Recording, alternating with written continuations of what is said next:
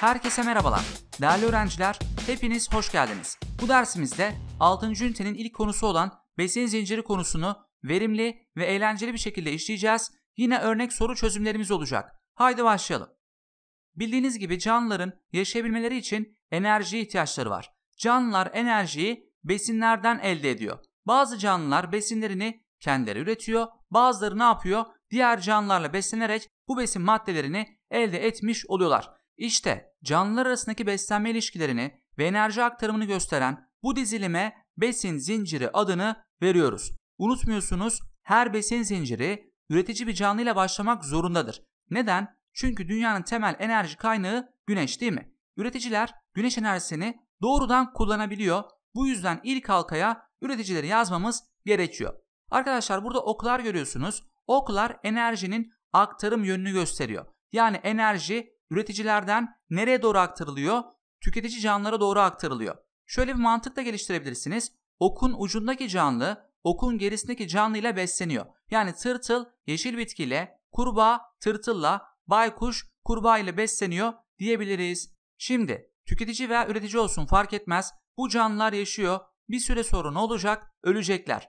Bu noktada devreye ayrıştırıcı canlılar giriyor. Ayrıştırıcılar ölü canlı atıklarını parçalayarak yeniden doğaya kazandırıyorlar. Bu yüzden ne diyoruz? Ayrıştırıcılar besin zincirinin her halkasında bulunur diyoruz. Çünkü canlı hangi halkada olursa olsun parçalama işlemini kim yapacak? Ayrıştırıcılar yapacak. Arkadaşlar ne demiştik? Canlıların yaşayabilmeleri için enerji ihtiyaçları vardı. Bunları da besinlerden elde ediyorlardı. Bu kapsamda canlıları üreticiler, tüketiciler ve ayrıştırıcılar olmak üzere 3 başlık altında inceleyeceğiz. Hemen üreticilerle başlayalım.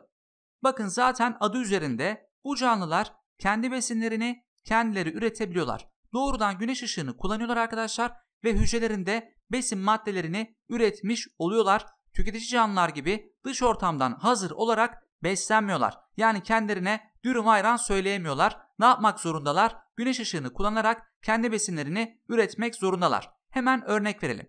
Yeşil bitkiler, su yosunları, bunlar karşınıza algler olarak da çıkabilir. Siyanobakteriler ve öglena kendi besinini üretebilen canlılardır. Bunlardan siyanobakteri ve öglenanın tek hücreli canlılar olduğunu unutmayın. Geldik tüketicilere. Gençler tüketiciler diğer canlıları yiyerek besin ihtiyaçlarını karşılıyorlar. Bunları da otçullar, etçiller ve hepçiller olarak gruplamamız mümkün. Burada dikkat etmeniz gereken nokta hepçillerde. Bir canlının hepçil olabilmesi için hem otla hem de etle beslenmesi gerekiyor. Ama et deyince hemen aklınıza mangallık et gelmesin. Yani küçük kurtçukları veya tırtılları yiyen canlı da etçil olarak beslenmiş olur. Ne demiştik? Ölü canlı atıklarını parçalayan canlılar ayrıştırıcılardı. Unutmayın şapkalı mantarlar ve bazı bakteriler ayrıştırıcı canlılara örnektir. Sakın şapkalı mantarları bitki olarak düşünmeyin. Şapkalı mantarlar kendi besinlerini kendileri üretemez. Bu yüzden arkadaşlar bir besin zincirinin ilk halkasına şapkalı mantarı yazamazsınız. Evet geçiyoruz besin ağına. Şimdi arkadaşlar canlılar sadece besin zincirindeki gibi böyle tek sıra halinde beslenmez. Mesela bakın fareyi hem yılan hem de şahin avlayabilir. İşte bu durumda karşımıza besin ağı çıkıyor. Besin ağı birçok besin zincirinin bir araya gelmesiyle oluşuyor. Besin ağı ile alakalı bugüne kadar birçok soru soruldu arkadaşlar. Dikkat ettiyseniz Mart ayı örnek sorularında da yine besin ağı ile alakalı bir soru bulunmaktaydı. İşte bu yüzden besin ağı muhabbetini çok iyi bir şekilde kavramanız gerekiyor. Ne demiştik? Besin ağı birden fazla besin zincirinden oluşuyordu. O zaman birkaç tane besin zinciri örneği verelim. Mesela arkadaşlar ilk halkada yeşil bitki, diğerinde dağ keçisi ve son halkada leopar bulunan bir besin zinciri oluşturabiliriz. Bir örnek daha verelim. Yeşil bitki, tırtıl, fare, yılan ve şahin şeklinde bir besin zinciri oluşturmak mümkün. Gördüğünüz gibi birçok besin zinciri bir araya gelmiş ve ne oluşturmuş? Besin ağını oluşturmuş. Besin ağı sorularında canlıları beslenmelerine göre rahatlıkla sınıflandırmanız lazım. Şimdi arkadaşlar şöyle baktık. Üretici canlımız hangisi? Yeşil bitki. Sırasıyla otçul, etçil ve hepçil canlıları bulalım. Arkadaşlar otçullar sadece üretici canlılarla beslenir. Mesela dağ keçisi ya da tırtıl. Bakın sadece yeşil bitkiyle besleniyor. Ama bu gruba fareyi alamazsınız. Çünkü bakın fare aynı zamanda tırtıl yemiş. Ne yazıyorum? Tırtıl ve dağ keçisi yazıyorum. Etçillere geçiyoruz. Yılan var, şahin var, bir de kim var? Leopar var. Evet bunlar da etçil canlılarımız. Hepçil olarak sadece fareyi yazabiliriz. Hepsini sınıflandırmış olduk. Evet geldik ekoloji piramidine. Burası da yine çok önemli noktalardan biri. Bir ekosistemde canlılar arasındaki beslenme ilişkisini ekoloji piramidiyle de gösterebiliyoruz. Sakın unutmayın en alt tabakada kimler var? Üretici canlılar var. Bunun üzerinde birinci dereceden tüketiciler yer alıyor. Yani otçullar şeklinde düşünebilirsiniz. Bu sıralama yukarı doğru ikinci ve üçüncü dereceden tüketiciler şeklinde devam ediyor. Ne demiştik? Besin zincirinin her halkasında ayrıştırıcı canlılar yer alıyordu. O zaman ekoloji piramidinin her tabakasında da yine bu canlılar yer almış olacak. Şimdi gençler çok önemli bir noktaya geldik. Burayı dikkatle dinliyorsunuz. Ekoloji piramidinde alt tabakalardan üst tabakalara doğru gidildikçe yani yukarı yönde gidildikçe aktarılan enerji miktarı azalır. Neden? Çünkü her canlı bu enerjinin bir kısmını kendisi için kullanır ve üst tabakaya daha azı aktarılmış olur. Şöyle bir örnek verebiliriz arkadaşlar. Buna onda bir kuralı deniyor.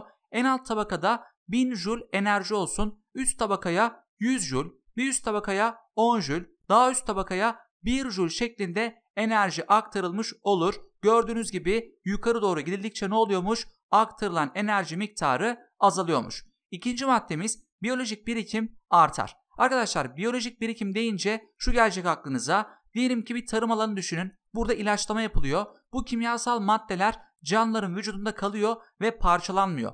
İşte canlıların vücudunda parçalanmadan kalan bu zararlı kimyasal maddelerin birikimine biyolojik birikim adını veriyoruz. Yukarı yönde ne oluyor? Biyolojik birikim artıyor. Aslanı düşünün arkadaşlar. Beslenmek için birçok canlı avlıyor değil mi? Bu canlıların yapısındaki kimyasallar da ne yapıyor? Aslanın vücuduna geçmiş oluyor. Gördüğünüz gibi yukarı doğru biyolojik birikim artıyormuş. Unutmuyorsunuz yine aynı şekilde yukarı yönde gittikçe tür ve birey sayısı azalır.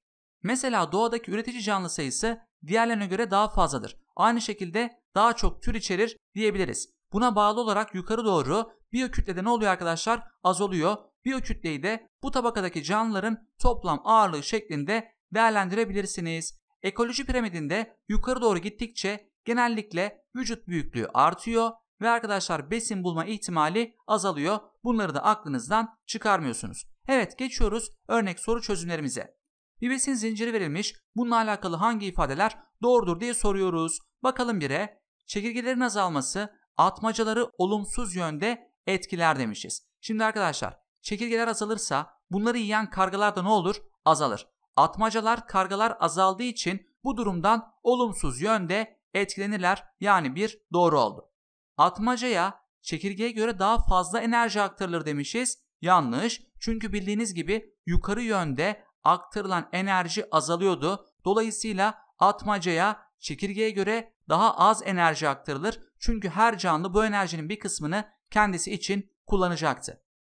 Karga 3. dereceden tüketici bir canlıdır demişiz. Yanlış. Bakın burası 1. dereceden, burası ne oldu? 2. dereceden tüketici bir canlı oldu. Cevabımız yalnız 1 olacaktır. Soru 2. Bir ekoloji piramidi verdik. Burada bazı tabakaları KLM şeklinde belirttik. Buna göre hangileri doğrudur diye soruyoruz. Bire baktık arkadaşlar. K tabakasına L tabakasına göre daha fazla enerji aktarılır demişiz. Bunu asla unutmayın çünkü çok sık bir şekilde sorulacaktır. Yukarı yönde aktarılan enerji azalıyordu. O zaman K tabakasına daha fazla değil daha az enerji aktarılması gerekir. 1'i eliyoruz. 2'ye baktık. M tabakasından K tabakasına doğru canlı sayısı azalır. Doğru. M tabakasını ağaç, K tabakasını kurt gibi düşünün. Ağaç sayısı kurt sayısından fazladır. Gördüğünüz gibi yukarı doğru ne oldu? Canlı sayısı azaldı. Otçul canlılar besin ihtiyacını M tabakasından karşılar. Arkadaşlar M tabakasında üreticiler yer alıyor. Dolayısıyla otçullar bunlarla beslendiği için nerede yer alır? L tabakasında yer alır. Yani besin ihtiyacını M'den karşılamış olurlar. 3 doğru oldu. Cevabımız 2 ve 3 olmalıdır. Evet şimdi de konunun daha iyi pekişmesi adına sizler için hazırladığım yeni nesil soruları inceleyelim. Ne demişiz arkadaşlar?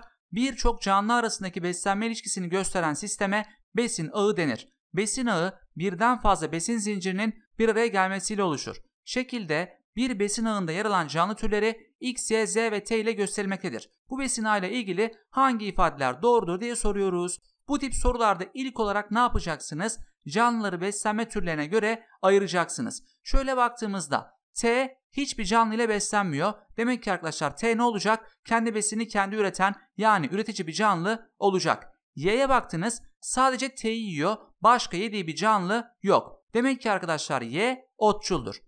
X'e baktınız hem T'yi yiyor hem de arkadaşlar Z'yi yiyor. Yani üretici bir canlıyı aynı zamanda tüketici bir canlıyı yiyor. Dolayısıyla X ne olacaktır? Hepçil olacaktır. Aynı şekilde Z bakın hem T'yi yemiş hem de Y'yi yemiş. O zaman X ve Z'nin hepçil olduğunu söyleyebiliriz. Bire baktık. Yalnızca etçil olarak beslenen bir canlı türü yer almaktadır. Evet sadece etçil olarak beslenen bir canlı yok gördüğünüz gibi bir doğru. Y canlısı besin ihtiyacını yalnızca üreticilerden karşılar. Evet Y otçuldur. Sadece üreticileri yiyerek beslenir. Dolayısıyla 2 doğru olmuş oldu. T canlısı neydi bu? Üreticiydi. Ekoloji piramidinin en alt tabakasında yer alır. Bu da doğru oldu. Cevabımız 1, 2 ve 3 olmalıdır. Son sorumuza geçiyoruz. Burada bir grafik var arkadaşlar. Ne diyor? Grafikte aynı besin zincirinde yer alan PRS ve T canlılarına ait biyolojik birikim oranları gösterilmektedir.